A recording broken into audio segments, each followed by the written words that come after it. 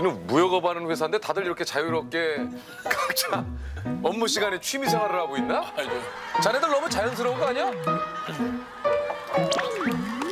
네, 여보세요. 12층 무한상사인데요. 짜장면 세 그릇 하고요. 야, 지금 몇신데 벌써 점심 주문을 해? 좀 이따 다시 전화드리겠습니다. 이게 저박 차장 이거 좀 이거 어떻게 지금 애들 관리하는 거예요 지금? 박 차장님이 시키라고. 부장님, 우리 다 배고플 나이입니다.